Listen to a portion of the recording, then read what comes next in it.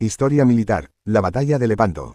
Parte 1. 1. Hechos. El 7 de octubre de 1571 tuvo lugar la mayor batalla naval de la historia moderna. Más de 400 galeras y casi 200.000 hombres se enfrentaron en una lucha que mostró el poder de la artillería europea sobre la marina otomana. 2. Batalla. Al amanecer del 7 de octubre, los buques de la Liga Santa comienzan a desplegarse en la boca del Golfo.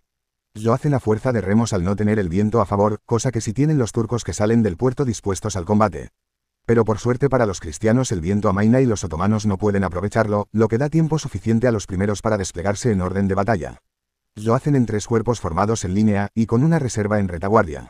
Los musulmanes, bajo el mando del almirante Ali Pacha, también forman en tres cuerpos, desplegados en forma de media luna. En total son 204 galeras cristianas por 205 galeras turcas. Unos 50 barcos más pequeños y ligeros por bando les acompañan, cumpliendo misiones de enlace y exploración. La escuadra cristiana está compuesta por un total de